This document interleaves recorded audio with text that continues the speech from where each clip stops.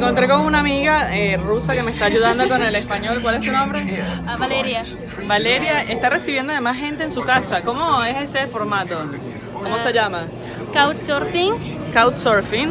Ese es sitio web donde ah, puedes ah, invi- invitar gente Sí. que vayan por, por, por tu lugar y después tú puedes ir por allá.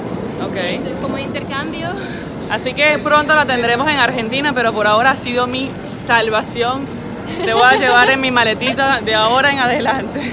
Estamos perdidas en el metro. Estaba perdida hasta que la encontré. Gracias.